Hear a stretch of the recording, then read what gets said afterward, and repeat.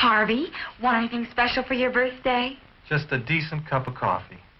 You're kidding. I'm serious. Honey, your coffee's undrinkable. It's pretty harsh. Well, so's your coffee.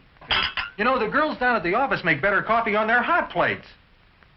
Well, see you later. And he didn't even kiss me goodbye. You know, if I could just make a decent cup of coffee, I could relax. So, relax. Why don't you try Instant Folgers? Tastes good as fresh perked. Good as fresh perked. I'll surprise Harvey for his birthday tonight.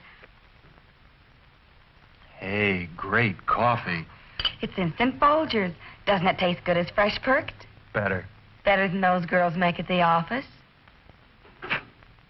Honey, their coffee can't hold a candle to yours.